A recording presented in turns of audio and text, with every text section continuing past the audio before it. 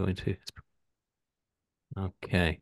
Well, looks like Wait, we're are, are you are you recording as well? I believe. Yes, I am. It says it's, it says recording on my end. How about you? Yeah, I think yeah, on my end as well. Okay, great. Yeah. Oh, uh, thank thanks so much for um agreeing to t- chat tonight. Um, Yeah, thanks for having me. oh, what kind of um time window do you have here? I don't want to keep you keep you up too late or anything like that. Uh, I mean, I could like an hour and a half is is fine. Longer than that, yeah, it depends on just how the conversation goes. Gotcha, gotcha. Yeah, that that sounds about right to me. Uh, but uh, um, all right. Well, uh, yeah, I've been I've been um following uh Bentham's newsletter, Bentham's Bulldog. Um, A very virtuous thing to do. yeah, since uh, I, I guess I got on Substack uh, sometime in the fall, and I can't remember exactly how you came to my attention. You know how these things is, you know, I, I think though, I, I mean, my first memory of you in operation on Substack was in a comment section somewhere where you were very impressively advocating for animals and uh, and uh, really sort of taking all comers. I think there were six or seven people you were responding to. I mean, I I I was reading it as a historical document at that point, but uh, Yeah, it looked thank you. like I mean, I maybe it was the Hanania uh, comment. it might have been the Hanania one. I, I do remember that one for sure, where you were, um, I guess, defending his his position uh, in a sense to uh, to uh, uh, naysayers in the comment section. And uh, yeah, you were very impressive. I kind of got on Substack myself in in the fall with this almost like out of a sense of duty uh, to get in the fray a little bit and try to advocate for animals, try, trying to be nice about it, but get in comment sections and try to do a little bit of advocacy. And uh, since then, you know, I if something interested in Phil religion or whatever comes up too, I'll I'll, I'll peep in. But um, um, uh, so it was really nice to see you out there already, having done so much. Uh, when I, when I saw you out there, I felt almost like, well, maybe I don't actually need to be here. You're you're doing a great job, and Thank uh, you.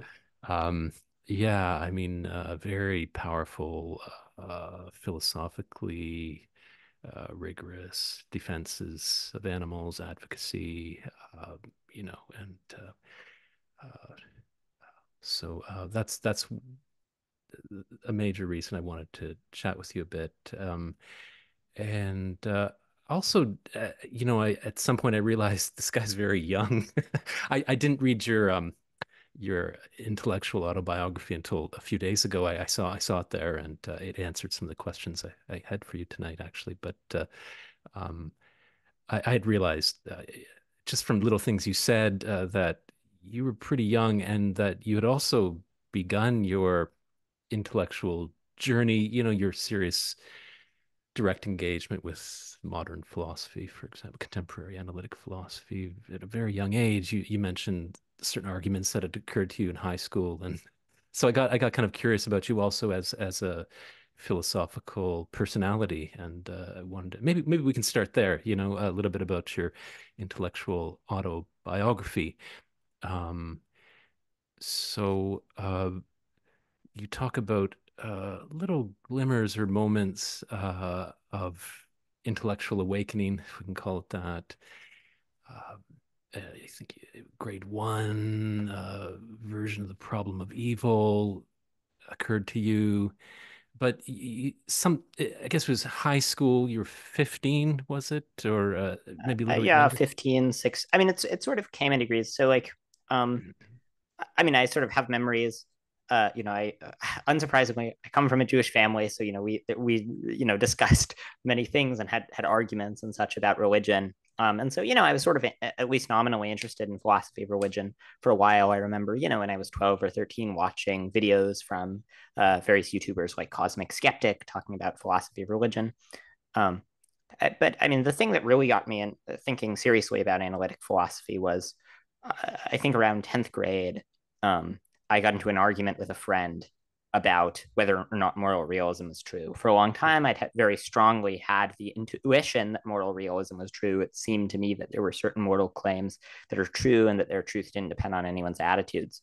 Um, but you know, I, I, started arguing with a friend about this, and it turned out, you know, I was not. I mean, my friend, you know, he's a really smart guy. It turned out I was not able to effectively defend my position to him, so I just started, you know, probably not in a good, you know, epistemically good sense, but I decided to start reading philosophy to sort of, you know, get arguments to use against him in, in our ongoing debates. And so, you know, I read, uh, I started, you know, working my way through on what matters, for example, um, and you know, reading other books about philosophy, and you know, watching debates with uh, people like Mike Huemer. And so that that's sort of what uh, what got me into the topic. Yeah, yeah, and uh, I mean, you just now finished second year college. Yeah, yeah. My final exam was yesterday. Oh, great! Congrats. Yeah, I, I just got all the marking in yesterday too, so uh, uh, I'm done on my. I, I teach uh, I teach undergraduate philosophy here at uh, in Toronto, um, but uh, um, yeah, it sounds like you've learned a lot. I mean, and um, done a lot. You know, you've come very far in these few short years. It's uh, very impressive. It got me thinking a little bit about philosophical prodigies. I mean, we don't, uh, you know, you see real child prodigies in mathematics and music. Certain disciplines seem a little more amenable to child prodigiousness than others. I, I can't think in the history, I don't know if you can in the history of philosophy of real like child uh, philosophical prodigies. I mean, there might be some legends from the Indian uh, tradition, but um, there are some well-known examples of people publishing major works in the early 20s, right? Uh, David Hume came to mind. Uh, I think the treatise was out by the time he was 24. And A.J. Ayer uh, also was pretty young when uh, Language, Truth, and Logic came out. And I guess you're working on a, a book too on moral philosophy. Is this your your first magnum opus on on moral oh, philosophy? Oh well, no, I I was kind of working on it a year ago, and the problem, or not a year, like in high school, and the problem was, so I think I, I started in eleventh grade, and I basically stopped it in twelfth grade, where the problem was like I was I would just read back from some of the old stuff, and it turned out like you know. Uh, the stuff I had written at the beginning of of eleventh grade, for instance, just wasn't very good, um, and so I, you know, I decided probably a better bet to try to publish papers, for instance, and to, you know, write about philosophy on my blog. But, you know, just getting a book, you know, to the extent that one's getting better at philosophy over time, you know, if it takes them a few years to write a book, then uh, sort of like by the time they're done writing it, the stuff that they wrote at the beginning will be stuff that they won't find good. And so it just makes makes better sense to kind of just wait a few years. Yeah, maybe uh might be also with moral philosophy. There's a kind of, you know, it's a vague term, but wisdom or something that comes with just a little bit of steeping. I, am not saying you got to be old to be good at moral philosophy, but uh, there's a certain kind of steeping of the ideas with the experience. And uh, uh, so maybe, yeah, maybe, maybe by the time you're 29 or something, uh, things will uh, really uh, gel and you'll be a bit solidified and your brain will be fully grown. I guess your brain's still growing. yeah. So uh, anyway, um, uh, maybe maybe we'll come back to your autobiography uh, at, at the end. We can we can bookend the discussion and we can get a little bit caught up because you published that intellectual autobiography uh, at the beginning of your uh, college year. Now we're at the end, and you can maybe catch us up on some of the major uh, uh, updates to your worldview uh, in the yeah, last there have been there have been some big ones. yeah, I, I got the sense maybe uh, theism is is is one. Yeah. Uh, yeah. Are you are you crossed the fifty percent mark on theism? Yeah, I think so. Hmm. But but just just a bit. Um, yeah. Yeah. And then you know the other thing is that I um I I started thinking hard about anthropics, where prior to this, I mean, I had sort of like thought about anthropics a little bit. I had some intuitions about anthropics, but I hadn't really studied the topic very much. And now I, I sort of did a pretty deep dive into anthropics. And so now, kind of like, anthropics is one of the areas of philosophy that interests me the most. Right. If you like, so if you were to start grad school tomorrow, you, you might specialize in anthropics and. Yeah, I, I'd either do ethics or philosophy of religion or anthropics. Gotcha. Yeah well, maybe uh, well i guess it, it, all converges too right? So uh, like anthropics and faux religion in in fine-tuning arguments and whatnot they they converge and ethics will come into it always always always uh, outside of pure logic probably but uh, well even there you know uh, anyway um yeah um so I don't think it's any secret that you know by your moniker alone, one one knows you're uh, uh, uh, utilitarian, pure utilitarian, or as a utilitarian would call it, a utilitarian. and uh, so your uh, your advocacy for animals, your attacks on factory farming, for example, are are always come from a very consistent utilitarian um, uh, background. Um, well, I mean, just briefly, I don't. Th- so the arguments that I give for the wrongness of the way that we treat animals are arguments that will make sense if one is a utilitarian. But I think basically, no matter what views one has of ethics, as long as one is committed to extremely plausible and minimal ethical principles, uh, they'll they'll conclude that they're right. So, for example, um, you know, when a person eats meat, uh, if a person eats, say, a chicken sandwich, they're causing animals like many many days of extreme suffering for the sake of a chicken sandwich. Okay, here's a plausible principle that everyone should accept, even if you're not a utilitarian. You shouldn't cause others extreme amounts of pain and suffering for the sake of comparatively small benefits.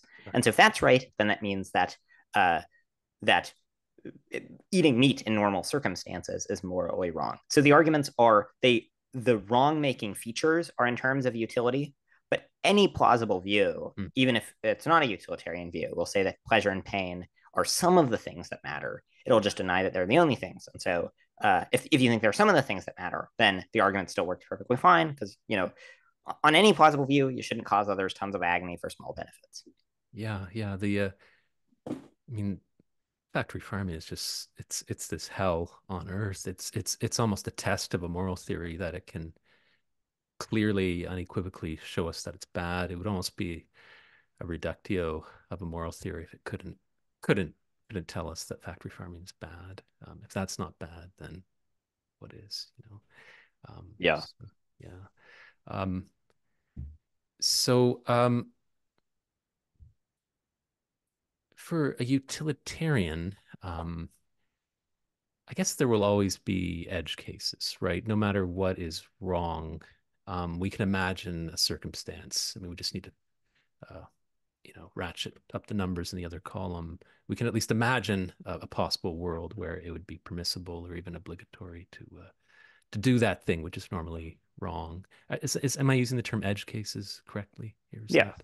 okay so um so I, i'm just uh, curious maybe we can so not just um factory farming uh, not just eating animals but more generally in our relationships with animals, I guess, um, um, ways we can cause animals suffering. What would be some of the plausible, like real world edge cases? Meaning, meaning we can imagine situations on Earth arising or situations in the past that have arisen where it, it would be permissible to uh, use animals. So, for example, I think it's plausible that uh, so there were certain t- so this is an example that peter singer gave in his book. There were certain tests that were done on fish that were trying to establish how sentient fish are. And as a result of these tests they got increasing recognition of fish welfare uh, which improved the way that fish were treated.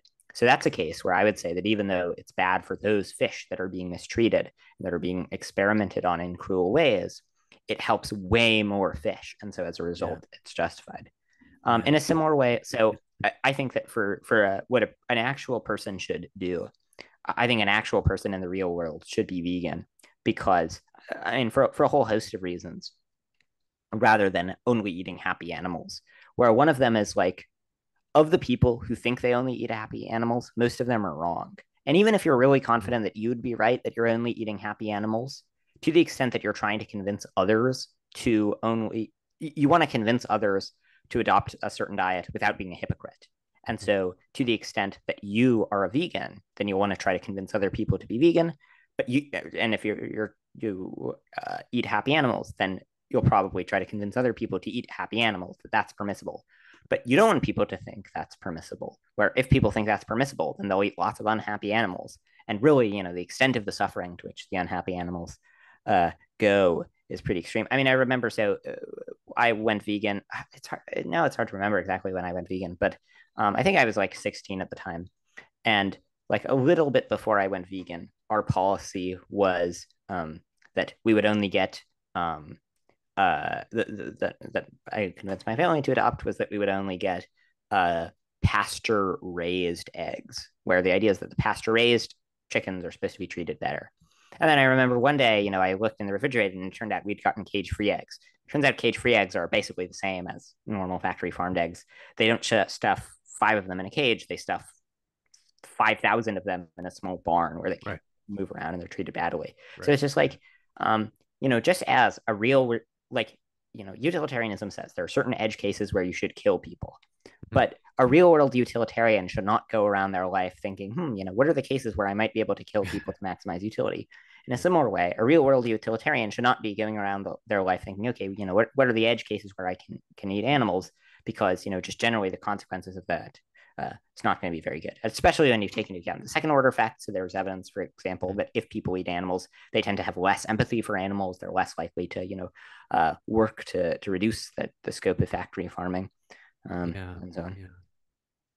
Yeah, yeah. I, I, um, last time I looked into the egg industry, I, I mean, even even individual birds that have a pretty good life, they come out of a system I mean, you can always ask where where are the male chicks, even in, in those situations, right? And they probably ended up in a macerator at the hatchery, if not on the farm.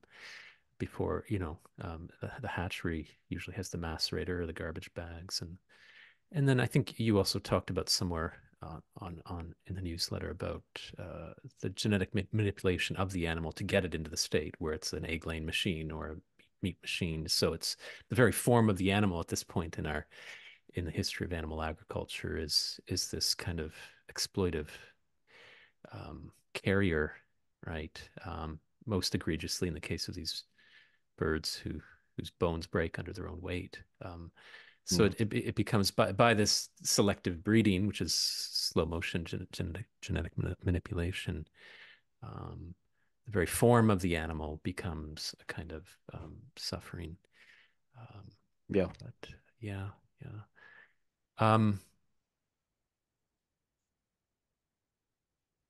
so I, I, I was um, very interested in this post um, on um, the, the disvalue of nature. Um, I guess it's a theme that's come come up here and there um, through the newsletter. By the way, I've not read the newsletter exhaustively. I've I've been following it since you know September, October, and then I've I've checked back through the archives and yep read things that popped out at me, but um, but uh, I came to it late. But you had this, uh, and sort of drag up an old an old post, but uh, uh, th- this uh, you called it the open letter to tree huggers. Um, you know, you gave it a provocative title, and um, it's I guess is it fair to say that's about it's about the disvalue of of uh, non-human nature. Yeah. Right. And uh, um, you you state, I think, at the outset that a, a, lot of people will find your conclusions there crazy or shocking, uh, something to that effect. And um, my own my own take, like my own reaction, um, or, or my own framing, I guess, for reading that piece is you know, I, I, I don't think I've romanticized nature. I mean, I love animals. I love mammals particularly, and so th- th- there's a part of me which can um, um, see them in their very best light. You know, and euphemize them a little bit in the way I think about them. Not not cartoonify them, but at the same time, I am I am aware that nature is morally problematic. You know, predation. We can start with predation, the great great red maw of nature, and um, I guess if we're serious about utility. And as we increase in our powers, I mean, you hypothesize someone with the actual, the, the proverbial red button um, hovering above Earth and, and have the option to just off nature, you know, by that button painlessly, say. And uh, that I guess we could say that's a picture of humanity at its engineering peak, at its ability to just kind of engineer efficiently on a planetary biosphere scale and um, yeah, if we're serious about utility and and as we come into our engineering, almost kind of demigod like engineering capacities, this is a question I don't think that's going to go away. You know, the question about what to do about nature, and um, so I'd, I'd, love to chat a bit about that piece. Maybe you could uh, just briefly take us through for anyone who's curious about the pair, like for some people there might seem to be a contradiction there where you're advocating for animals in the you know in your tax on factory farms say and then you're also calling for the um, extinguishment of all non-human animal life. I mean, not. I don't want to say you're calling for it. That was a sort of, anyway. I'll let you uh, explain that apparent. Yeah. Well, uh, so my view is that, like, all else equal, the existence of nature is well. I guess not quite all else equal.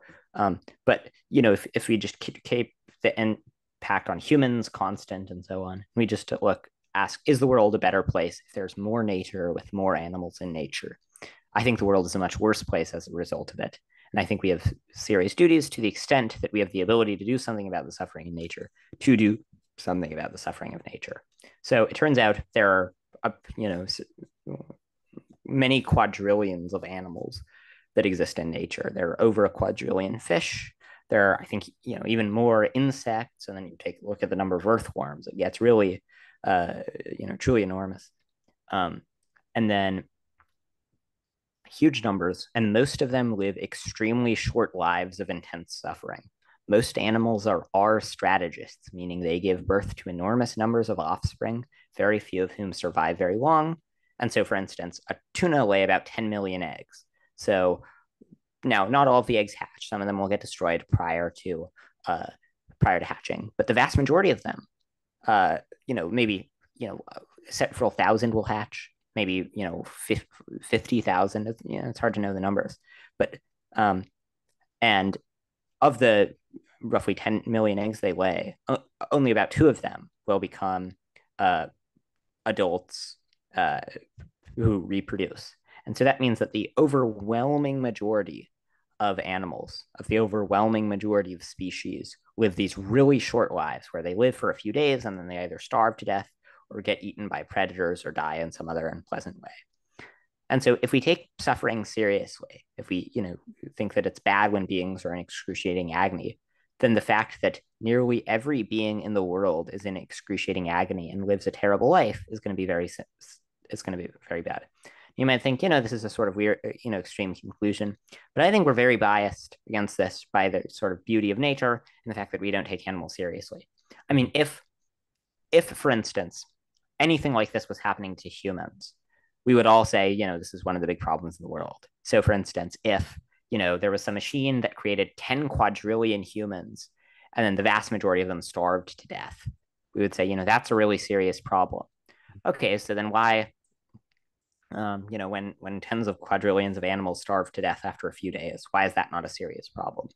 Well, you know, uh, there are a whole host of reasons a person might give, but I think all of those reasons will be very implausible. So, for instance, you might say, well, you know, it's not a big deal because it's natural. Okay, but, you know, if this machine that was killing humans, uh, resulting in quadrillions of humans starving to death was natural, we would still think that it was a serious problem. Maybe the idea is they're not smart. Okay, but if the humans that were, you know, starving to death were not smart, we would still think it's a very serious problem. Um, and so, taking that into account, I think, you know, that uh, this ends up being a very serious problem. And so I think I think every plausible moral view will hold that um, that what's going on in nature is very very bad. Now you might think, okay, you know, it's very bad, but getting rid of nature is even worse. But when you just take into account the scale of the suffering, um, and you think, you know, imagine if quadrillions of humans were starving to death, even humans, you know, with slightly diminished consciousness, even humans uh, who who were you know mentally deficient in various ways, we would still think you know that's that's one of the worst things in the world. That's orders of magnitude worse than anything else. And to the extent that we think uh, this, to the extent that we we're really serious about the problem and we think that it's orders of magnitude worse than any other problem in the world, then it'll turn out that you know we should do something about it. And if reducing the amount of nature is one way to do it, uh, then then it's worthwhile. Yeah.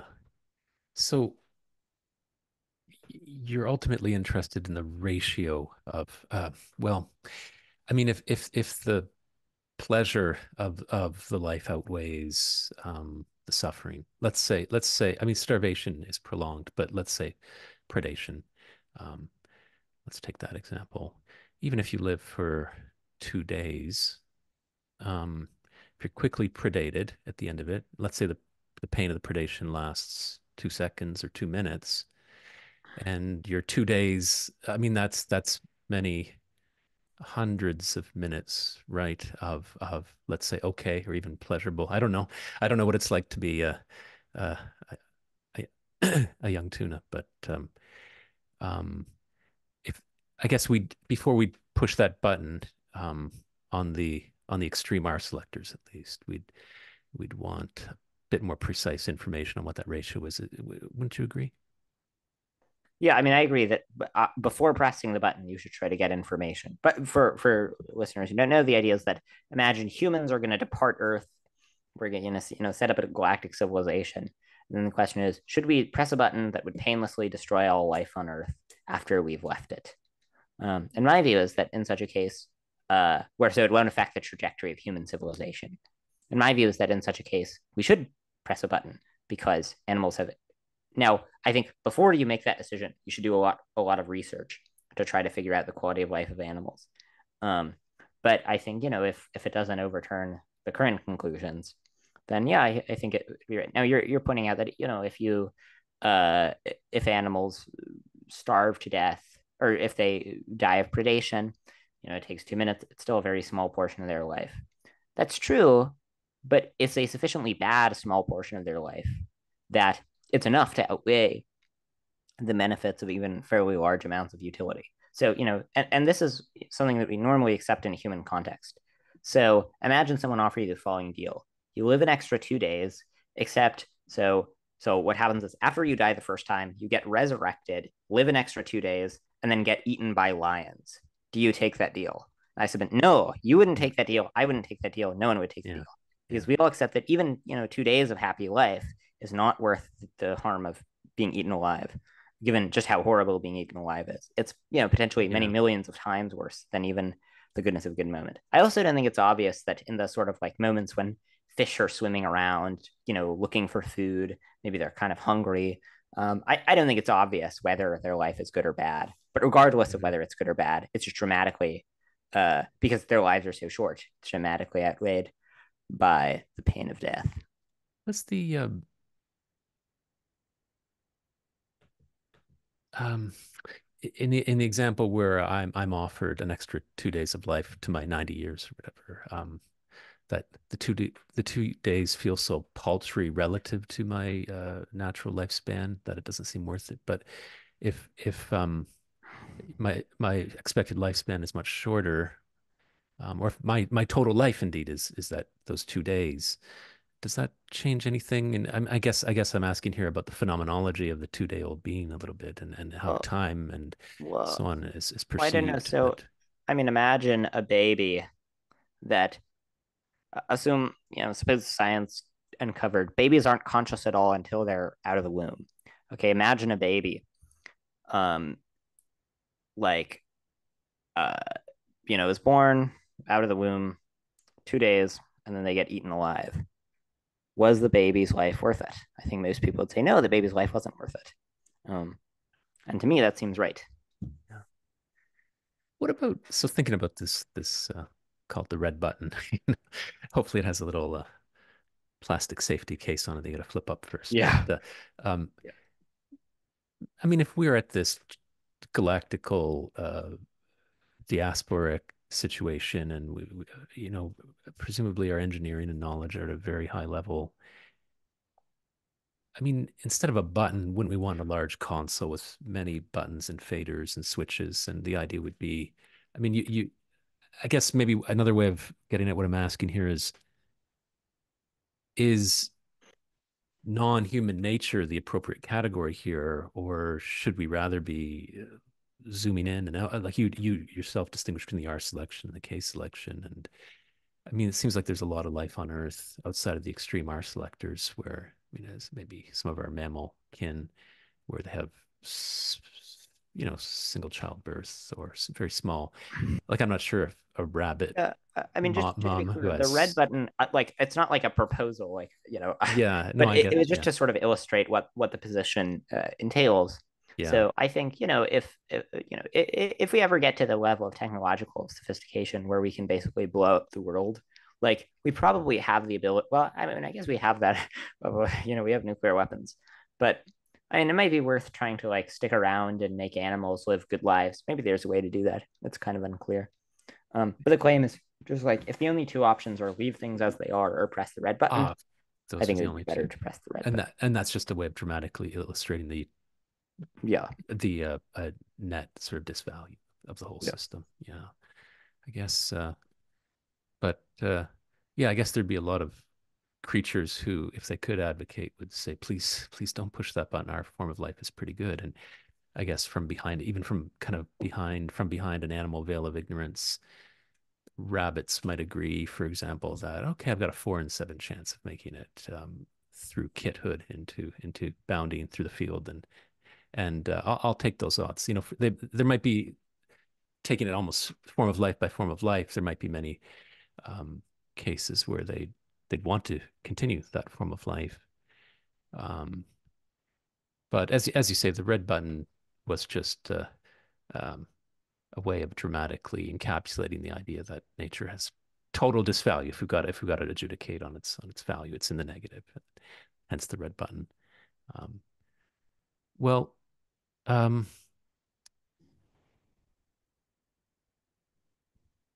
guess one one question I have uh, when I think about your piece is to what extent we actually are uh, distinct from nature, and and again, just a little bit of background on where I'm coming from. I mean, I uh, I, I do think humans are are special in in the biosphere as far as as far as I can tell. Unless there are interesting things going on with composite mines and flocks and that. Uh, I mean, there might be a world out there that I'm not perceiving, but from what I can tell, uh, it, you know, we are very uh, distinct and special. And um, but but I guess some of the things that you're worried about in nature, you know, let's let's say the the great red maw of of nature of predation. Um, I wonder how distinct we are from that. I mean, um, you're imagining uh, an idealized humanity who who are setting out on this, um, you know, establishing this interplanetary utopia. Maybe not utopia. That's extreme, but but you know, in the same way we can romanticize nature, we can ro- romanticize human potential, and of course we have these potentials, but in our actual behavior, hence your attacks on factory farming some ways we seem like the the summation or the the avant-garde of the great maw of nature you know we're um, that consumptive uh, somewhat mindless amoral tendency that we see in nature we see it um, taken to an extreme competence in our in our case right? Uh, of course we have this conscience uh, in the species, sometimes it, it, it, manifests in these sort of prophets at the margins, whether the prophet is an ancient Hebrew prophet or a utilitarian uh, calling for the end of factory farms. There's we have this voice of conscience and these moral ideals, but if you look at the actual behavior of our species, it seems like we're very much part of this system that you're calling for the uh, end of, right?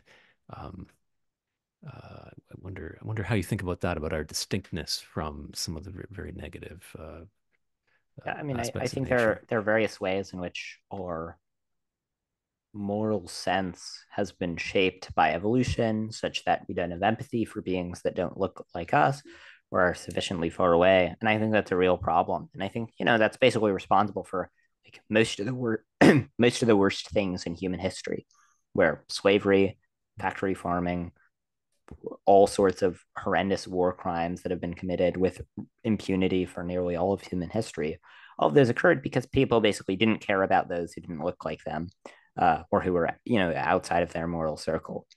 Um, so, yeah. Yeah. Yeah, I, I think I think I agree with you. I think there's also this um, just this drive life has, you know, the ambition of life, the uh, appetite of life. And um, I found in my own life, I'm a pretty empathic person, I think, uh, you know, uh, by human averages, but um, I've had some phases in life I've noticed, uh, sort of afterwards, I noticed that like a particularly kind of uh, youthful, ambitious phase, like a couple years uh, of, you know, somewhat hedonistic exploration or whatever. There were, I felt like, wow, my empathy level was a little bit uh, almost cauterized there for a time. It was strange, uh, you know, to see it. It's like even me, like I, I, I, I and I'm no saint, but I, am like, you know, I, have always been more concerned about animals than uh, than average, and uh, there was a period in my life where I just I just stopped caring. It was it was a little late too. I, I have basically been vegetarian my whole life, vegan vegetarian since like grade seven. But uh, there was a period in my 30s for about two years where just I, I mean I, I don't know exactly what was going on there in my mind. Anyway, I don't mean to do autobiography here, but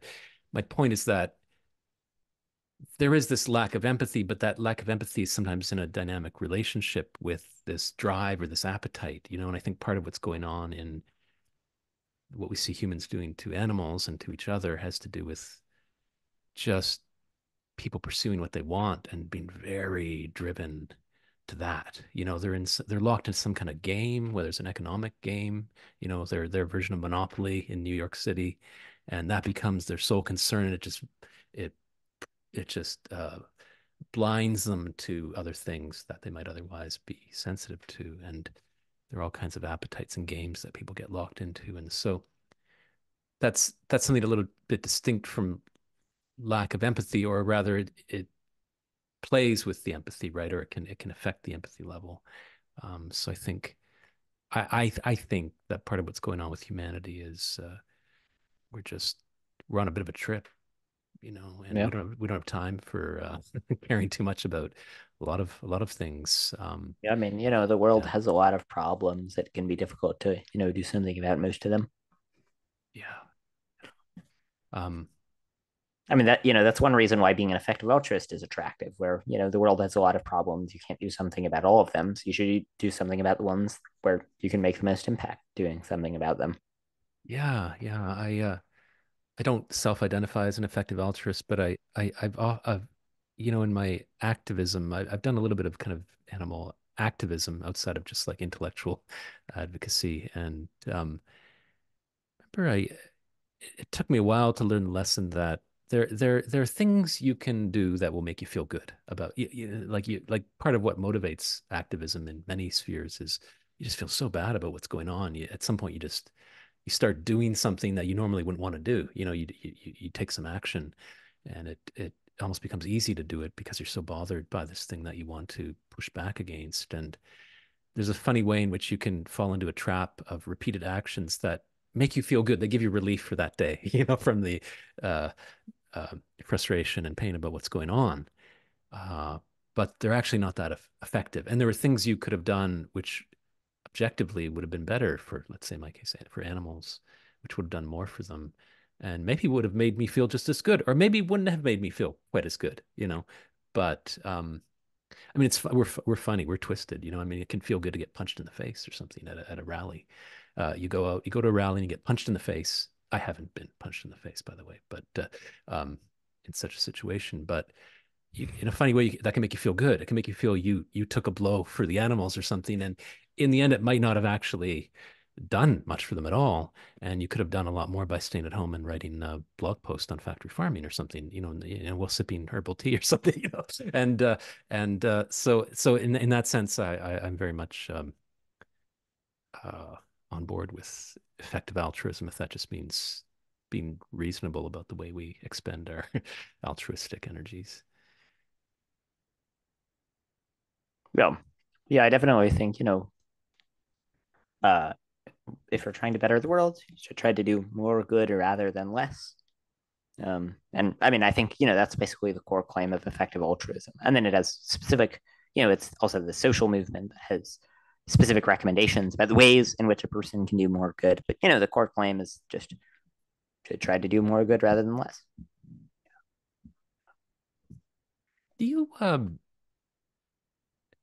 speaking of that uh, interplanetary galactic uh, uh, civilization, the sci-fi dream, are, uh, if you had to bet today, would you bet we will go into interplanetary and and and um, thrive, um, let's say over the next million years, or would you more bet on extinction? Um, I think I'd bet that we would go interplanetary. Yeah. So, um, you're not worried that sometime in the next hundred years, whether whether from AI or some other um, apocalyptic machinery, we're we're going to off ourselves. Well, I'm very worried, but I, I don't think I think you know the risks are severe and they're worth doing something about. but I don't think that they collectively add up to an event with above 50% probability. Gotcha. Yeah. Uh, I sometimes worry about a different red button, you know, um, and uh, I, I, don't have a sense of the probability here, but uh, I sometimes worry that that you know that that 20th century image of of the of the mushroom cloud that's that's like a just a first first glimmer of this age of apocalyptic machinery we're entering into. You know, that's a very dramatic image of a species which has gone apocalyptic in its potential. And I do worry about the the way that technology tends to proliferate and cheapen over time very alarmingly quickly eh, you know in the history of technology. And then i just wonder if the same thing will happen with these apocalyptic technologies to the point where everybody has a red button you know at some point. And then and then to me it just seems like it's it's actually a tragedy because even even a very benevolent civilization just odds are someone's going to push that button you know get in a mood um, or i guess error is also a risk at some point but um, just i do worry about that red button that other red button that before we have the option of uh, eliminating all of nature if, if we decide to take that course uh, we're going to eliminate all of nature ourselves included on this kind of apocalyptic self-destructive yeah, I mean, I think that's definitely a risk.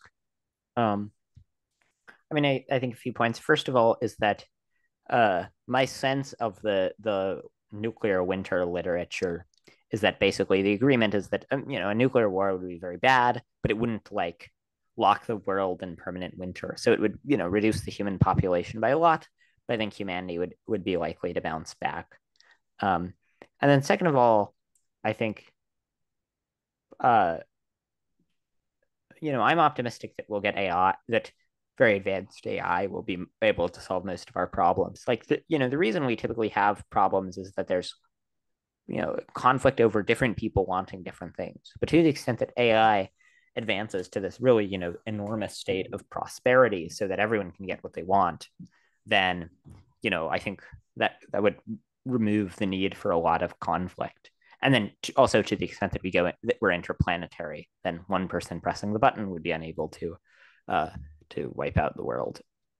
Well, I guess if um if the technology travels with us, then uh, we might need a decree, like in in the Dune universe, you know, where the, the apocalyptic technology is just banned interplanetary. It can't travel with us. I guess, I guess the idea would be that what where, wherever we are, wherever our worlds are, are we'll have that apocalyptic technology and it could be it could be in the technology itself could be interplanetary well, by that point you know like uh, yeah, yeah. particle accelerators that suck up whole galaxies or whatever you know I, yeah, I, I mean that's that's possible but the question is how probable is it? Yeah um yeah. and yeah I, I don't know i mean i think ai will largely determine the fate of humanity where if we can get aligned ai that follows good ethical guidance um then uh, I think you know that could bring about a, a very valuable yeah you know, that could reduce existential risks by a very large amount. Yeah. Wonder a uh, couple couple thoughts. I, you, you see people the ultra wealthy um enter into competition with each other for status. And and in that case you know 100 million um, is just upkeep on their ultra yacht or whatever for the year. I don't know. I mean, maybe that's a little high, but um, I remember I was reading an article, maybe it was by Scott Alexander, talking about how there was some kind of yacht that various super wealthy people bought, where the yacht somehow required other yachts to like work for the movement of their first yacht. right. Yeah. Yeah there's always a bigger fish, always a bigger yacht, and uh, I just wonder about again. It might be part of our uh, evolutionary heritage, tragically, that um, because partly because we're a social animal and we're so attuned to these status displays and signals that we'll never have enough, right? Um, so that AI can't just by giving us what we want. I mean, it can, um, you know, ending world hunger or whatever. I mean, these things are admirable, morally necessary goals, but I'm not sure that taking care of these needs will um, even if the minimum income was five hundred thousand dollars or something by by current by current um, by current standards or current value, I'm not I'm not sure if that would eliminate conflict. Right, there'd still be social competition for status and that kind of thing. So, you know, the art market will go. that Picasso will now cost five billion, not five hundred million. I mean, to the extent, like to the extent that we're all that that the AI can bring about, you know, really fantastic technology. I think we'll we'll have better things to worry about than competing for status. I I uh I, I wonder about that, Matthew. I I I I I wonder if maybe oh you really think it'd be that easy to get rid I mean, of like, I, like I see that imagine imagine the AI makes you know makes uh, some headset where when you put it on it produces an experience that's like 5 million times better than the best human experience. Mm-hmm. i think people would spend more time wearing the headset and less time building you know big yachts. Yeah. Um, i mean maybe at that point it's game over too. That could you know could be the uh, the beautiful apocalypse of the uh the uh, infinite jest show that we can't we can't take off. I mean if it's that good it, it would be like fentanyl times a thousand or something, you know, better than yeah. fentanyl. Well, maybe the AI could take care of us. Yeah, yeah, we'll we'll be it'll be like the Kubrick Uber baby, you know, but we'll be plugged plugged in, um, amniotic like into this AI uh, dream dreamverse. Um, that could be uh, that could be heaven, you know. Maybe the prophets foresaw it dimly, and uh, it's not quite what they didn't come about. it's this technologically enabled um, heaven I guess I wonder. I just I just wonder about what kind of resources it will take to fund that that intense kind of um, experience for every every experiencer. Yeah, mean, and, and, you know the, that was just like an example, but I mean the, the basic point is that once we have things, you know, a million times smarter than we are, mm-hmm. you know, sky's the limit. Yeah, maybe that's the end of us. Yeah, could be. Um, and I think there's a real risk that it would be. Yeah. Um, but if we can solve alignment, then I think like either we're doomed or the future will be really good if we get super intelligent AI. Yeah. Yeah. Yeah. Interesting times, eh? The Chinese yeah. curse, we're living that. Yeah, we live in those times. It, it's it's it's such we live in such interesting times. We we live at such a crux. Um, um, it, it, it makes me wonder we're in some kind of um, sim that focuses on this particularly intensely important period of life. You know, to what to whatever extent I I I I'm moved by some kind of simulation, Bostrom style simulation argument, it gets a little extra juice from the fact that we're around in this very interesting time, which would be if you're a game maker, say, or if you're an apocalypse sim um, scientist, um, this would this would be a pretty appropriate time to focus on. Yeah. Um. Well, uh, what else can we chat about?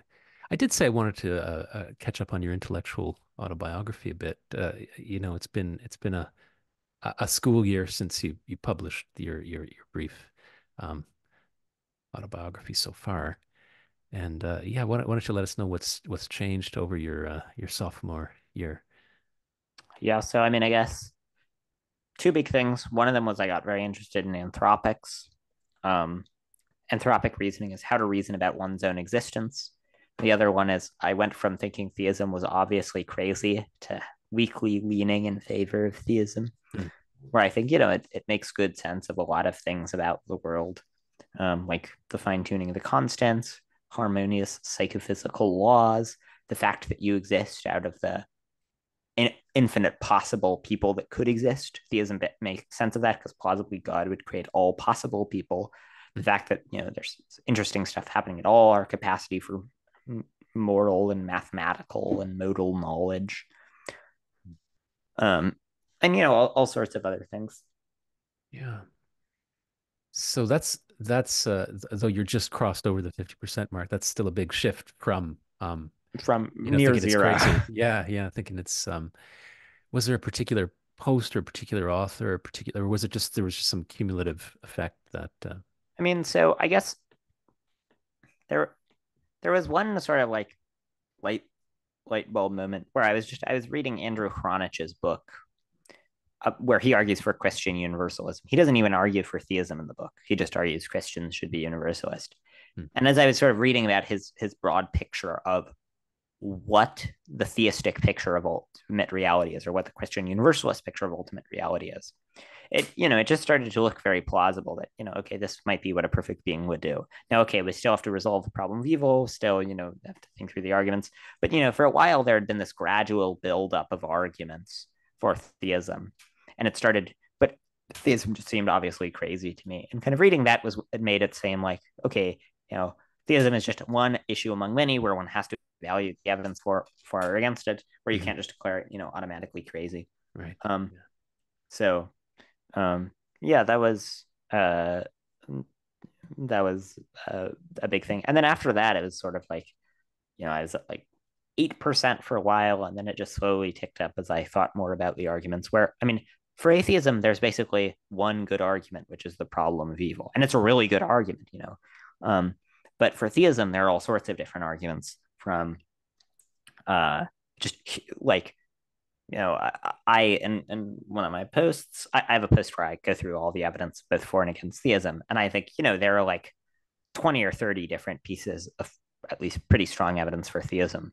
So it's just like, you know, theism best makes sense of so many of the features of our of, of the world that it ends up looking very plausible. You know, I've I've remarked that's sort of similar to to, to evolution where by you know there was a famous quote from a biologist nothing in biology makes sense in light of evolution where you know okay you can come up with these ad hoc explanations of each of the particular things but there are just so many things that evolution makes sense of. In a similar way i think so much of the world is nicely explained by theism. So it's this very parsimonious theory and then it, it adequately makes sense of just you know huge numbers of phenomenon phenom- phenomena all throughout the world you think, in, in terms of other uh, anti-theistic arguments, I mean, are you not moved by um, any of the possible inconsistencies amongst the omni attributes, or even the coherence of some of these attributes on their own? You know, like the omnipotent uh, argument against omnipotence, or the, the paradox of omnipotence, or possible conflicts among these these attributes. Any of do any, any of these any of these weigh in at all? For you? Um, no, I mean they, these don't these don't move me very much. Um, I mean, uh, for one, I just I think when you think through a lot of them, they just end up collapsing. The paradox of omnipotence, for instance, is resolved by saying omnipotence is just the ability to do all logically possible things, and it's not logically possible, or uh, all metaphysically possible things rather. It's not metaphysically possible to make a stone that God can't lift. Mm-hmm. Um, so uh, I, I don't find any of them convincing. And then I think even if I did, like there was one or two that I thought of um, th- that was convincing. And, you know, there are some arguments against theism where like that I think they're not directly paradoxes of omnipotence, but they're sort of in the vicinity where maybe you think, you know, there isn't, you know, there is no one best kind of thing because, you know, you can always, you can always have things that are better than that. Um, now, okay, maybe you know maybe there's a problem for theism, maybe it's not. It'll depend on you know how you formulate it. Um, but but I I don't think it, it'll be it's hard for like arguments that rely on these contentious philosophical premises to provide really strong evidence because it's it you know it's hard to know if the premises are right.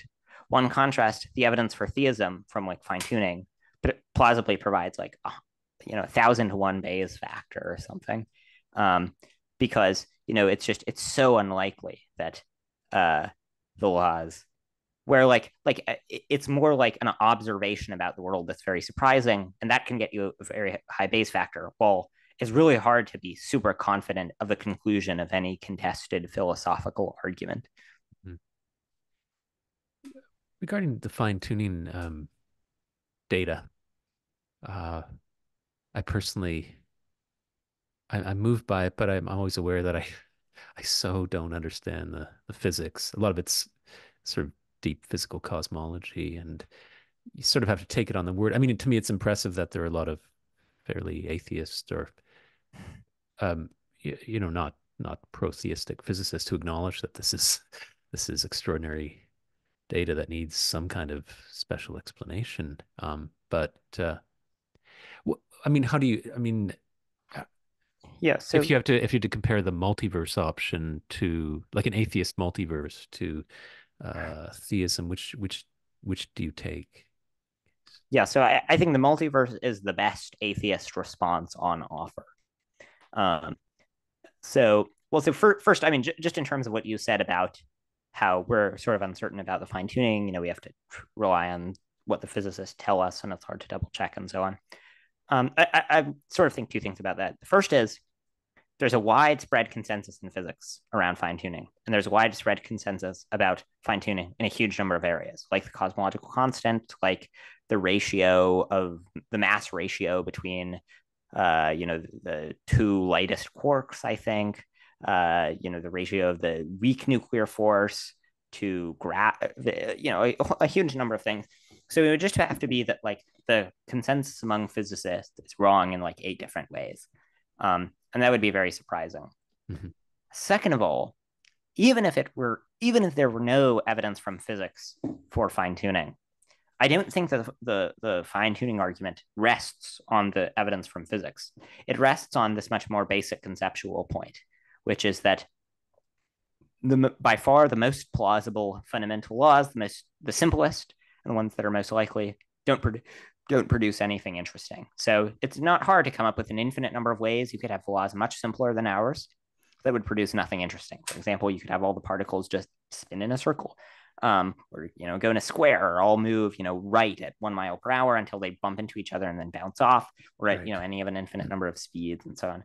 Um, and so, and then w- once you have that, it's like the the number of possible ways the fundamental laws could be um, that are very simple dramatically outweigh uh, that are very simple and don't produce anything interesting dramatically outweigh the number of laws that do produce anything interesting. So we happen to hit you know the, this goldilocks zone of complexity where the laws happen to be where we happen to get you know the, the series of laws. Um, that are are able to produce something interesting. If you got if you deleted any of the any one of the laws like you know suppose you got rid of gravity nothing interesting would happen. Mm-hmm. and so you know it's very improbable that we got this uh, uh, this law um, that that produces something interesting. I think when, when you have that conceptual point in mind the multiverse stops looking so attractive because the you know the way the multiverse explains it is it's like you know you have this you know you have a bunch of universes. Okay why do you have a bunch of universes? Well there are two answers the first answer is you might think the universes are just fundamental they're just a bunch of different universes for no deeper reason that's a very bad theory. It's not at all parsimonious. The better theory, the way that the types of multiverses that physicists seriously entertain, are the kinds of multiverses where there's some simple physical process that, if allowed to run, generates a whole host of universes. So, you know, you'll have uh, um, uh, uh, eternal inflation. I, don't know any of the details about the physics where, you know, you start with these simple laws and then from that you get a bunch of universes or like string theory. But you know, that's vulnerable to the same basic conceptual point, which is it's really weird that the basic physical laws are such as not to produce something just minimally interesting, but to produce a shit ton of universes. Like that's that's not what you would expect. Hmm. You know, it would be much simpler for them to just produce random static or nothing interesting. Um, so I, I think that's the first point about why a multiverse isn't convincing. Just two other points briefly are number one that so Robin Collins has argued that there's fine tuning for discoverability. So various of the constants of the universe fall in this narrow range such that if they were different by a little bit, we would still exist, but the universe wouldn't be discoverable. And so if that's true, then the multiverse doesn't explain why we're in a discoverable universe. It just explains why we're in a finely tuned universe. And then second of all, uh, the multiverse, it, it was one of the more challenging uh, versions of the fine tuning problem is the low entropy conditions uh, in the early universe. So the early universe was in this very low entropy state. Now it turns out that this low entropy state occupies, according to Roger Penrose, one part in 10 to the power of 10 to the power of 123rd of the available phase space. So of the of the ways the system could be, only one part in 10 to the 10 to the 123rd were in that low of entropy. Um, now it turns out if there were higher entropy, we could still exist. Uh, we, there would just we would only exist as Boltzmann brains. So random observers would pop into existence temporarily, have thoughts like ours, and then disappear. And so even if you have a multiverse, then you would you uh, on you know sort of like most multiverse models, you would expect the majority of uh, observers to be these short-lived Boltzmann brains. But if you know that the majority of observers are these short, short-lived Boltzmann brains, then you should think probably you are a short-lived Boltzmann brain. Most of the people mm-hmm. throughout the history of the universe who have your experiences will, you know, just disappear in one second. And so I think the multiverse might have this unacceptable conclusion. Now, you know, the last the two points I raised, I I, I think you know the most forceful point is just the basic conceptual point about uh about you know the challenge is most sets of fundamental laws don't produce anything interesting. We happen to get one that produces something interesting. And so, uh, but even if you have a multiverse, a multiverse just still is a fundamental law that produces something interesting and is thus very improbable. What, what about a, um, a multiverse generator, um, which arises out of some kind of um, natural selection process? You know, natural selection applied at the scale of the multiverse and beyond, where you get out of something pretty chaotic with enough time and space, uh, possibility space, tries, rolls of the dice, you get this pr- favoring of structure. And so structure comes, you know, structure structure beats chaos um, intrinsically almost, you know, by persisting where chaos doesn't. And so you give you give the system it's not worth calling a system initially but uh, you give that big mess time and tries and or order emerges right? And including um favoring of stable universes for for for natural selection reasons. And i i guess if you if, if you start applying natural selection logic to the multiverse scale maybe maybe that will help the atheist case there a little bit. Do you, do you think? Yeah. I, I don't think it does because I mean, so in that case, you're saying there's some system where you get a bunch of universes, and then there's some natural selective process where the universes that last longer are the ones that remain. But the point is, the simplest sets of laws just are are not don't produce this process for generating lots of different universes, nor do they produce anything that might produce anything stable. Like just much simpler than any law that produces anything stable are just the laws that mean, you know, all the particles just move at some speed until they hit each other and bounce off in a random direction. Mm-hmm. If the laws were like that, nothing interesting would happen. So you, you need to get, you know, to get things to fall in this very narrow range to have it even be capable of producing anything interesting, regardless of the mechanism by which it produces anything interesting. So, uh, for instance, John Conway had his famous game of life, where you place down dots and then you you know you, you run the program and the dots evolve according to this deterministic system and you know it gets interesting things where the dots start you know moving around in cool ways but he had to work really hard to find uh, to find a, a, sequence of rules that would produce something interesting because the overwhelming majority of uh, possible initial rules just you know didn't didn't uh, make anything interesting i guess if if if if we think of the initial chaos being this kind of randomizer where the, the uh, more interesting um, multiverse generator or the more interesting laws will will have a very low chance of popping into existence. Mm-hmm. Um, you know, so they have to wait their turn for the um, one in a trillionth die roll or whatever, trillion to the power of a trillion. Um, but still, I, I just wonder if some kind of through just the logic of natural selection, if you just it, it it will given enough time, and maybe we have all the time in the world for this to to get going. Um, order will just arise through you know order order will dominate um, when it, when it takes hold just like it did on a smaller scale on on earth yeah but the so I, I agree that if the laws so if it were the case that there was a natural selective process for order and the laws were such that if you know they just hung around for long enough you get order then yeah you would you would get you would you would indeed get order but my point is that uh, the laws the thing that's improbable is having laws that are capable of getting order at all.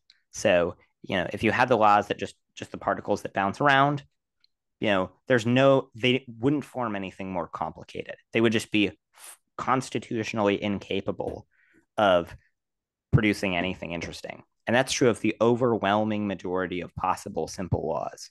And so if if the laws are capable of generating a naturalistic process by which more interesting laws dominate, those laws are themselves extremely improbable. Right.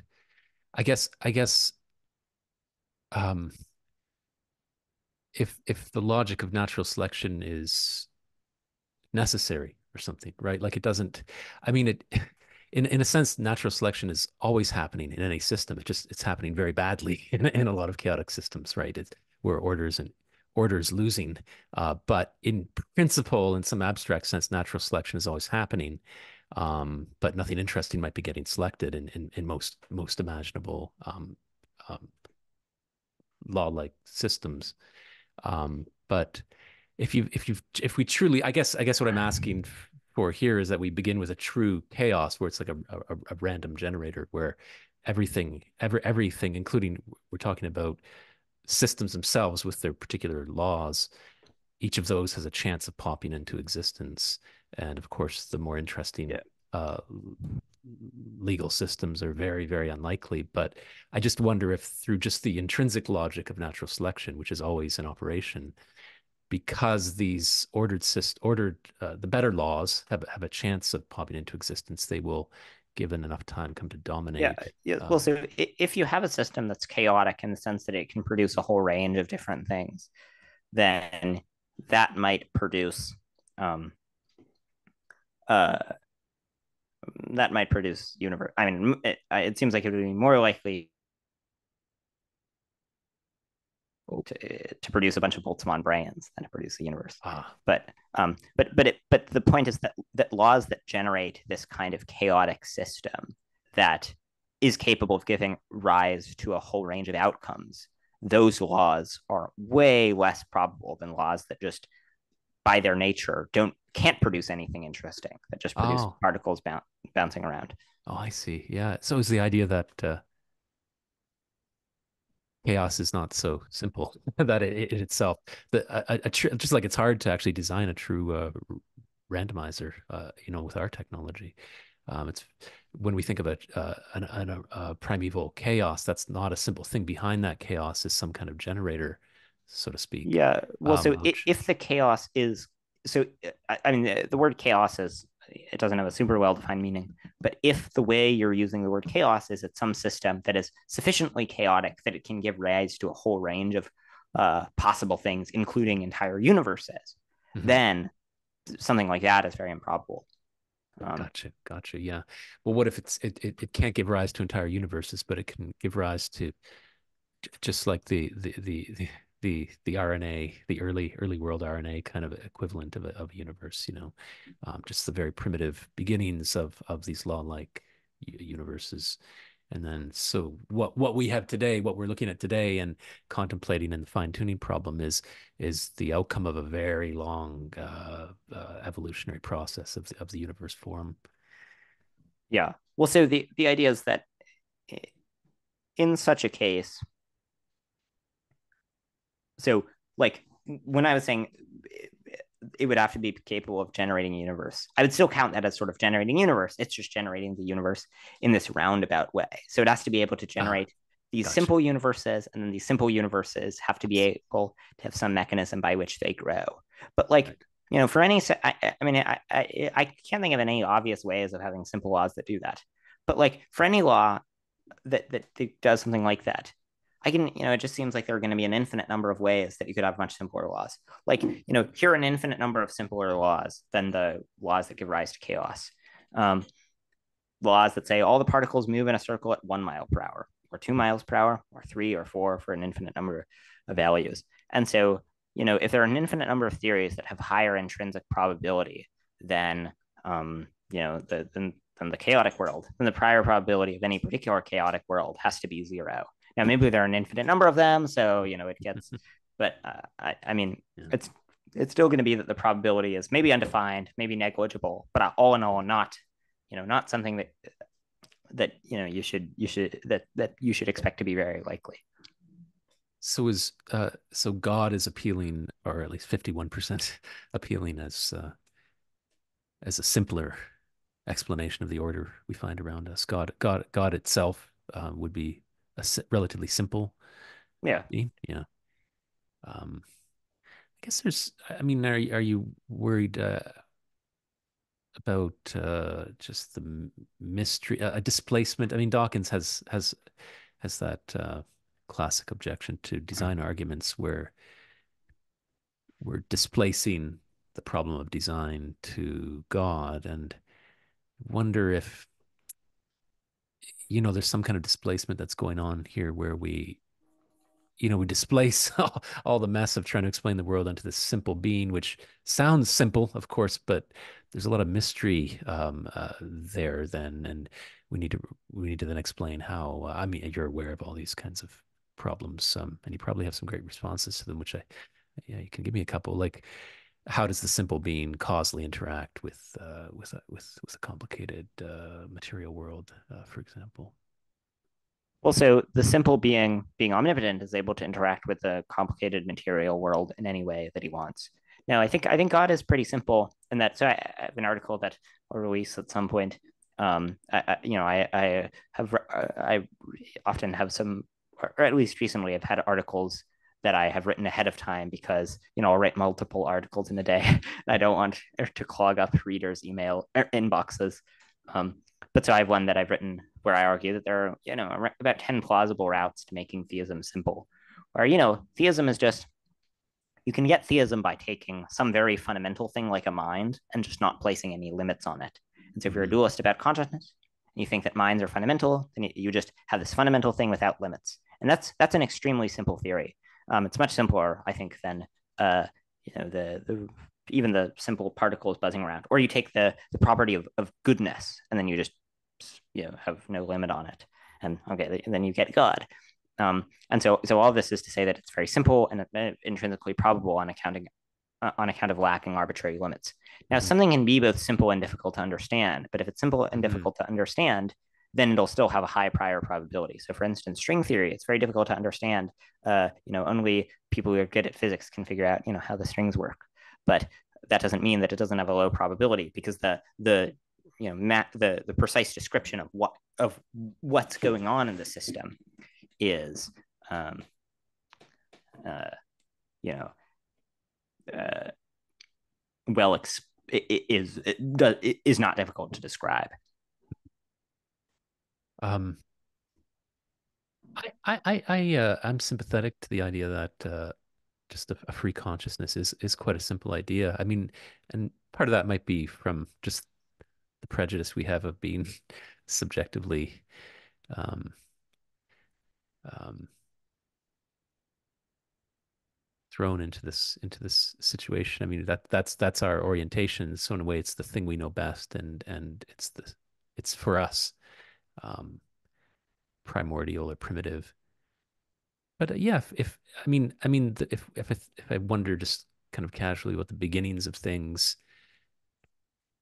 there's something a little surprising there in any story we tell. You know, if if if something came from nothing, like just kind of pop, like without any causal um, grounding, just kind of pop. That's surprising, but okay. Maybe maybe, maybe the beginning is going to be weird, and anyway, you you cut it. If there's just always been eternally a mind. Um, that's a little surprising too, but it's not that weird, you know, if, if it all began with just a simple primeval consciousness. Um, that's that's not a weird thought to me. You know, I'm I'm sympathetic to that that view. Wonder, uh, are you, are you sympathetic at all to the idea? And I don't really have any arguments for this. It's more like a, a picture that I'm attracted to. Um, of this primeval consciousness perhaps being being free when there's no world but then once it once it creates a world or precisely imagines a world such that it's inhabitable by other beings with distinct subjectivities and so on you know it's like this very elaborate dream that's so elaborately dreamt that the other denizens of the dream world have their own um, subjective um, gravity um, once once once the primeval mind has kind of created in this way, it loses some of its power. It's no longer I, I, I guess um, you could think of this as the creation kind of getting away from it, a little bit out of its control.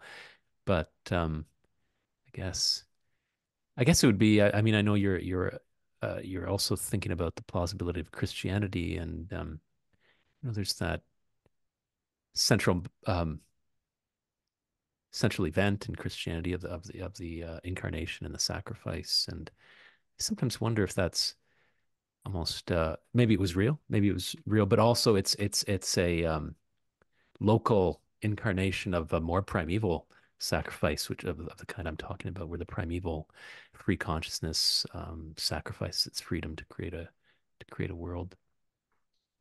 I don't know why it would be a sacrifice of freedom to create a world. Um, you know, still free to do whatever he wants with the world. Well, take omniscience. I mean, um, um, I, I'm I'm somewhat moved by one of these problems for omniscience, which is that um, my, you know, con- consciousness is intrinsically private, um, and so even God couldn't inhabit me couldn't have that kind of an indexical knowledge of of my life um, could know everything objective about what's going on in my and and be very astute about me psychologically you know extra, perfectly astute about uh, to the point where god could absolutely predict every every thought i'd have but would still maybe i mean maybe at that point it's indistinguishable from indexical um, i subjective knowledge. But uh, just... so so the idea would be that God could know what your experience is like, but God couldn't like there's some knowledge that you have that God wouldn't have, which is you have the knowledge that I am Paul Bali and God doesn't have that knowledge. Yeah, that would be the the, problem of the, of the indexical. Yeah, I mean that that, that, that, doesn't seem like a limit on God's knowledge because God knows everything that's true. It's mm-hmm. not true that He's Paul Bali. It is true that you, are Paul Bali. So yeah. so it's not it's not that um like like everything like there's no knowledge that god lacks. There's no true po- proposition of which god is aware unaware. It's just that there are certain true proposition propositions that are true of people other than god but not true of god of which um like like i mean and here's one way to see this. Um suppose that god so it can't be the case that both possessing and not possessing some piece of knowledge both are absences of knowledge. It has to be for, for that either you knowing P or you not knowing P is an absence of knowledge. But if if God thought he was Paul Bali, then it would seem like he is lacking knowledge. He doesn't know who he is. Um, yeah, he's mistaken about who he is. Yeah, yeah. No, I, I, I like I like this approach to the let's let's call it the indexical version of the problem of omniscience, where uh, yeah, if, if we just if we just put God's um, lack of knowledge here in terms of lacking the indexical framing. Um, it almost, I, I, I, guess, put that way, the problem does seem uh, almost trivial, and and we we might not require God to have that that knowledge. It might be a, a, analogous to your response to the paradox of omnipotence, where I mean, we just require God to be able to do what's logically or metaphysically possible to do. And here we just require omniscience is just the requirement to know all that's logically possible to know. Uh, all, that's true. And God can't truly know that I, I, God, am Paul Bali. That's the contradiction. And uh, I, I, I, like that. I like that response. Maybe okay. So here's a here's a more um, embodied version of the problem of omniscience, where uh, you know where God can't know what it's like to be tr- truly afraid you know, um, or to learn, you know, the pleasure of learning. Um, an omniscient being can't know that. You have to be limited to know these, to know these things and to have these very valuable experiences. You know, overcoming odds, um, conquering your fear, um, learning something, growing. These are things God can't know or experience. Um, how how do you like? What's your response to that kind of uh, problem of omniscience? Oh well, so I I I think that he can know, um, he can know what it's like to learn, even though he isn't learning. Where he he has access to what it's like to learn in the same way you might have access to previous mental states that you had. You're not currently having those mental states, but you can you have awareness of what it is like to have them by virtue of having a mental state that, that gives you that awareness. And similarly, God has the awareness of what it's like to have that mental state. Um, even though he is not capable himself of having the mental state. Now, in terms of whether he's lacking something, well, it's not true that God uh, has every every type of good. Well, actually, I mean, maybe it is actually because I I actually don't think there are that many types of good. I think maybe the goods are like uh like pleasure and relationships or something um, or maybe knowledge but I, I don't think learning is intrinsically good learning might be instrumentally good mm-hmm. but but i don't think learning is intrinsically good like you wouldn't want to forget knowledge just so you can learn it again um uh-huh. uh now um it's not it, the idea is not that god instantiates every type of good the idea is that god is the best kind of thing so he instantiates the combination of goods that are maximally good. Mm-hmm. So, you know, God, uh, you know, God doesn't instantiate the good of, um, you know, like, uh, uh, eating good food because you know he's he's just not the kind of being who's in the business of doing that.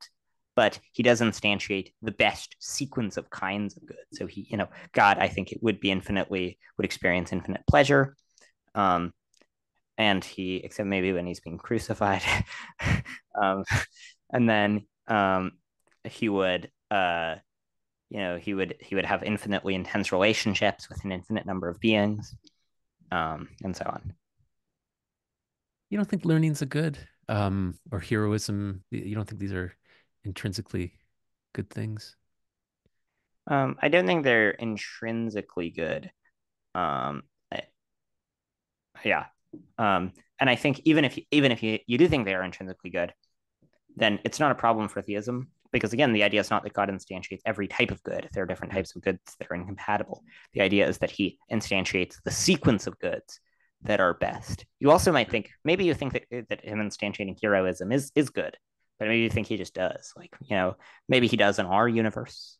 Um, if you're a Christian, maybe this is especially plausible, where you know there's something sort of heroic about you know, sacrificing yourself, you know, dying on the cross uh, for for humans. Maybe if he doesn't, he does it in another universe. Maybe he does it in ways that we don't know about.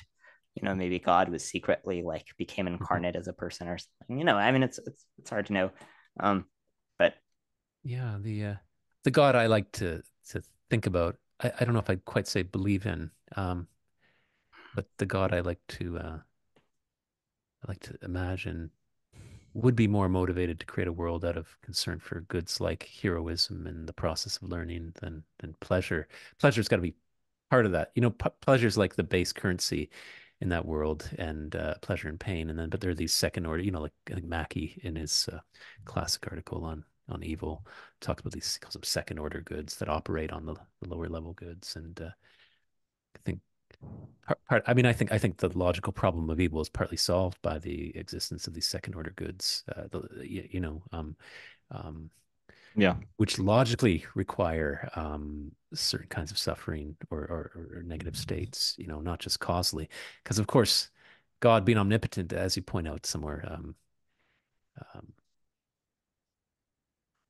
we can't get him off the hook for evils by pointing out that they're required for some good those goods are just available by taking a yeah. causal shortcut, right? But yeah, you, these, uh, you, might think that sort of like the best kinds of relationships involve some suffering. Or if you imagine two people who, you know, they begin in a very intense state of relationship, you know, it just lasts forever. You know, it seems like there's something better about if, you know, if one spouse, you know, gives up his life for the other and then they're mm-hmm. reunited mm-hmm. in the afterlife and then they live infinitely long after that. It's like, you know, yeah. that seems better in some way. It seems like their their relationship has more value. Yeah. I, I am almost I, I I I again I, I don't have an argument for it, but I like I like this uh, picture of the of the universe where part of its the impetus that brings it into being is this moral this this desire for a certain moral narrative to to be enacted you know that i mean you can imagine i don't know some hindu god and and his consort lying on the couch of eternity in in this relationship of, of eternal um, love but but almost that relationship demands um, to be expressed in terms of these these narratives of heroism and sacrifice, right? Like here we are in the couch of eternity where nothing can touch us, but in a way, the love needs to be tested or something in, in, in a situation in, in, these sort of counterfactuals. If there were, if the if we weren't infinite, um, this is what I would do for you. This is this is what my um, um, boundless love would look like. It would look like maybe failure, even you know, like a tragedy. But um, almost, of course, if they're divine, they don't need to actually enact these things. Um, they can just, they would just know. in the infinity of their intelligence that they would, in these hypotheticals, sacrifice for the other, and they wouldn't actually need to bring a bring a world into existence. But uh, I guess then I wonder if maybe our world is just the, their uh, precise, precisely imagined hypothetical. You know, that um, that that's what that's what the world is. Yeah. Again, not, Yeah, I mean, uh, yeah, I, I do think that a, a theist should think that, um, you know, uh, forging relationships is one extremely important function of our world. Yeah. Well, you know, like what what what do you get the man who has everything? Christmas that was a tagline in some old ad. It was for like a Braun's shave, electric shaver, but uh, back in the eighties. But uh, sometimes wonder wonder wonder that question aloud for God. You know, if God trying to have sympathy for God as the eternal being prior prior to creation and trying to solve the problem of why there's a world. You know, it might be it might be to bring about these things that he sort of ironically doesn't have these limitations, you know, that that are are in a way become these like expressions of the the counterfactuals or the hypotheticals about the eternal. You know, if I were limited, this is what I might look like. You know, I think that's part of the idea of the incarnation that we're supposed to we're supposed to look at the incarnated God and and solve it a little bit or transcribe it, transpose it to the infinite, and see that in the in this earthly behavior, there's a clue there about what the eternal God is actually like. This is this is what it would look like if you put it down on the ground like the little Google Maps guy and made him walk around. Um, so yeah, this is well. Uh, well, Matthew, uh, it's really it's really been a pleasure talking to you. I, maybe I don't I don't want to keep you too long, and uh, and and we've covered some nice ground there. Um, everything from the uh, uh, value of nature uh, to um, theism and a little bit of autobiography and a little bit of ethics.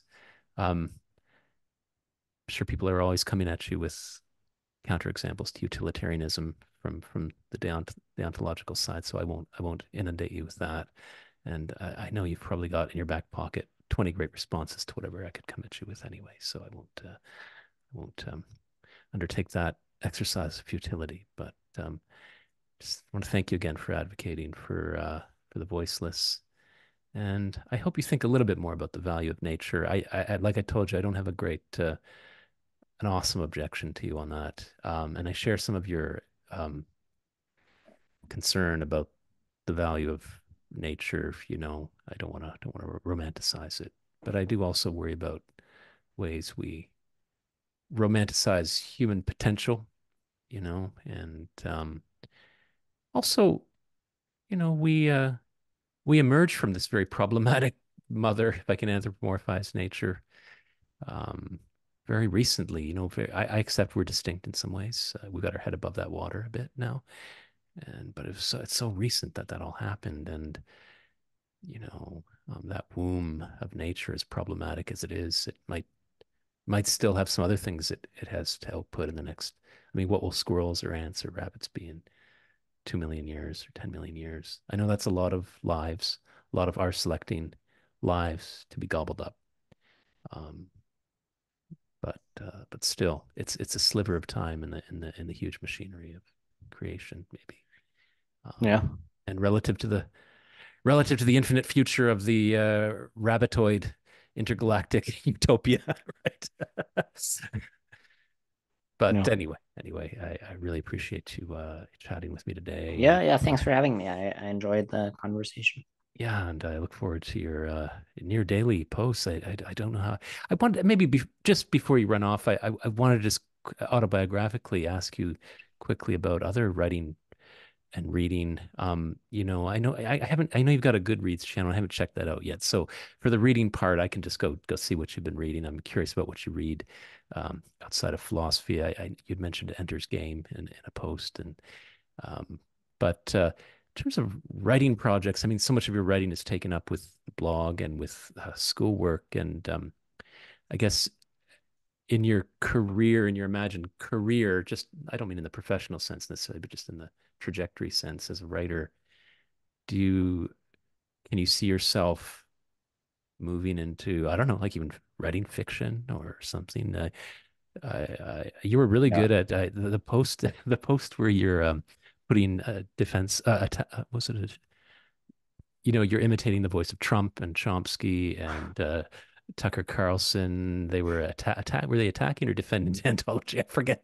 but uh, They were just saying various things about deontology, that's right. Yeah, I don't think Trump was happy about it, but uh, um um that that that voicing was was wonderful. I mean, just from the words on the page, those voices were really popping off for me. And I remember reading that and thinking, you could, I mean, you could you could write comedy or you could i mean yeah there's obviously a lot of humor in the blog already but i'm just curious if you you see yourself ever writing fiction or something outside of um, philosophical essays Yeah, I mean, so there have been various times when I've tried to write fiction, and it's just it's always sort of failed disastrously. I, I, you know, I I find it, it it I find it very easy to write like you know a few thousand words about you know something I've been thinking about, but I find it very difficult to write you know a huge number of words you know span you know about you know about this large overarching plot of of something like a book.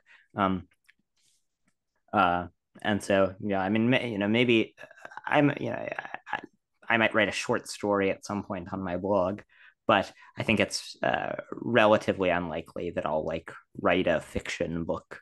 Right right but you know these uh these um thought experiments become like cool little short short stories on their own you know they've got the i find that the thought experiments that really stay with us culturally um, have a kind of mythic narrative um, resonance. You know, it's very deep. You know, like Mary in the room, Yeah. and there's there's something there's something archetypal going on there that that just it's it's more than just a contrived, cute thought experiment to make a point. There's something, yeah, yeah, almost mythic in the in the scope or depth there. And uh, yeah, I mean, uh, you, know, if you read Borges or I mean, you get these little short short.